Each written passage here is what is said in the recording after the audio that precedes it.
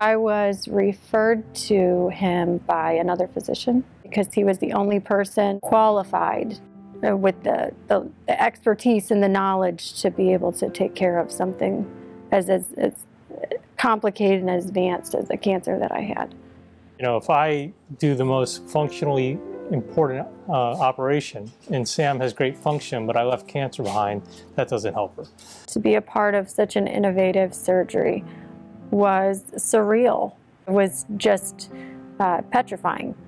Uh, but at this, I mean, looking back today, I feel so blessed to be a part of that and grateful that there's people in this world that have the ability to do something so grand.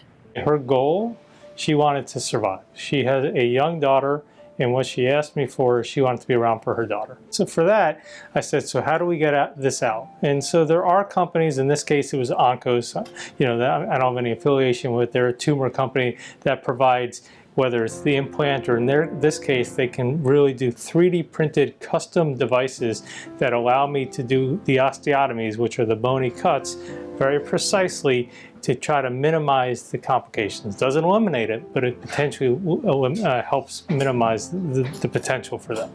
So I ended up, for her, in her situation, printing, having them print specific cutting jigs that'll actually allow me to make the cut in the back and the cut in the front precisely that are fit for her.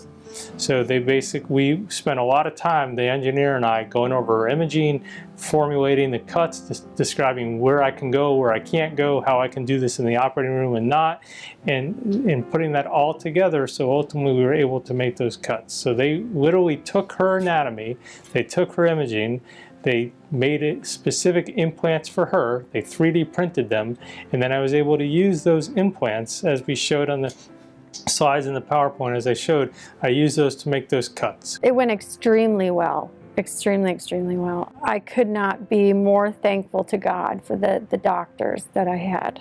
I told Greenberg that I was going to walk again, even if it meant God was going to carry me. Uh, as a young woman with, uh, with a young child, uh, it was extremely important to me. I have always lived a very active lifestyle. Um, I've always been very physical. I don't think anyone fully comprehends how big of a part of their life walking is until the fear of not having that or not being able to is, is presented